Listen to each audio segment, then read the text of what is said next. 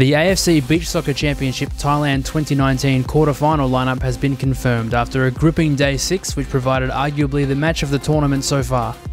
That match was between reigning champions Islamic Republic of Iran and Oman, who both came into the match unbeaten and eager to secure top spot in Group D. After a superb contest which regularly swung back and forth, Oman emerged victorious with a 4-3 win that sets up a quarter-final clash with Bahrain on Thursday while Iran now face a blockbuster last eight clash against Japan, who continued their perfect record with a comprehensive 6 2 win over Bahrain.